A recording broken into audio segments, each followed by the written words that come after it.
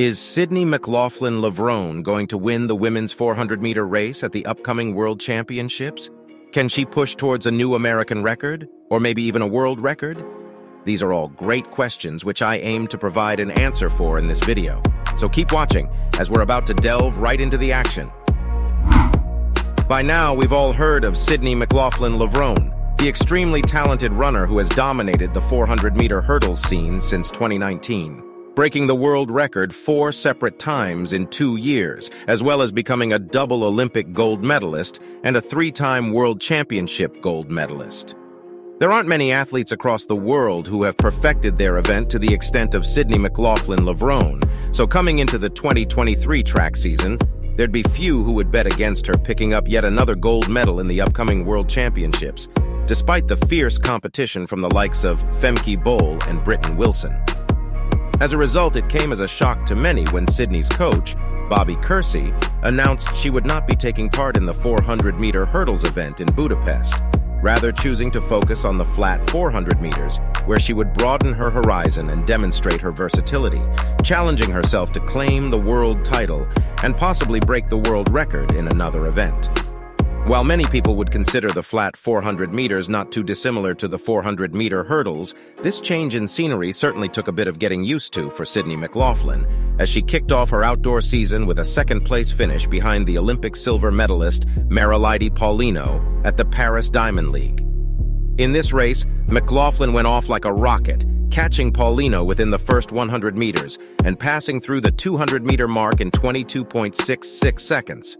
Although McLaughlin went through 300 meters with her lead still intact, this wouldn't last for long as Paulino powered past her in the final stretch, leading to a meeting record time of 49.12 seconds for Paulino, whereas McLaughlin finished with a personal best of 49.71 seconds.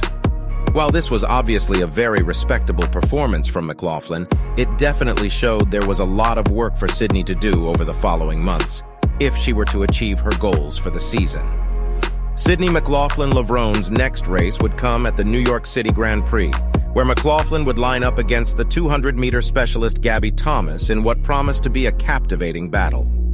Sydney McLaughlin would go on to win this race in a personal best of 49.51 seconds, showing a visible improvement in her 400-meter ability, just two weeks on from her previous race. This race also showed that Sydney had clearly learned a lot from her shortcomings in Paris, as she set off much more conservatively, allowing Gabby Thomas to take the lead, before wrestling back first position halfway through the race, destroying the rest of the field, and cruising to victory nearly eight-tenths of a second ahead of Thomas. While it was clear now that McLaughlin was starting to find her rhythm in the 400 meters, her biggest race yet at the USA National Championships would come just weeks after the New York City Grand Prix. While it may seem like a win for McLaughlin was guaranteed in this race from an outsider's perspective given her already proven abilities, this race was pivotal for Sydney McLaughlin Levrone's season.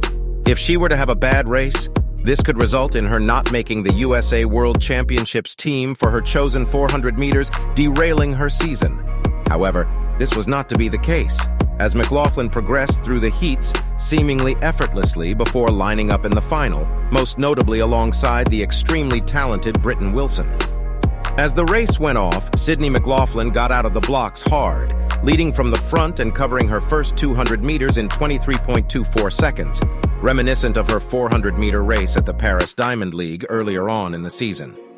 However, unlike her performance in Paris, she didn't crumble in the last 200 meters, showing incredible speed and strength to hold off Britton Wilson and power through the finish line in first place, crowning her the American 400-meter champion with a time of 48.74 seconds. While Britton Wilson claimed second place in a fantastic time of 49.79 seconds. McLaughlin's 48.74 second performance represents the second fastest 400-meter time in American history, finishing just 0.04 seconds off Sanya Richards-Ross's record set back in 2006.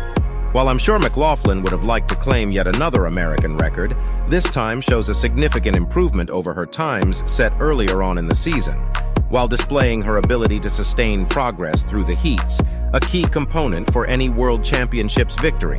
as she clocked a 49.79 in the heats, followed by a 49.62 in the semi-final, both of which she then obliterated in the final.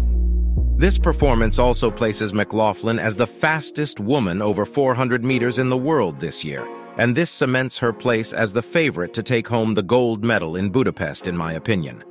While I think Sydney McLaughlin is currently too far off the 400-meter world record to challenge it in Budapest, I do think that McLaughlin has a great chance of taking down the American record and climbing further up the all-time leaderboard.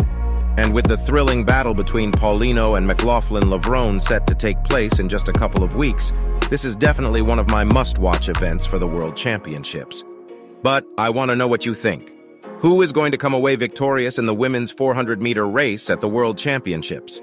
Will Sydney McLaughlin Levrone cruise to victory, or will Paulino go one better than her silver medal last year? Let me know your predictions in the comments down below, and don't forget to subscribe to our channel for more thrilling athletics content.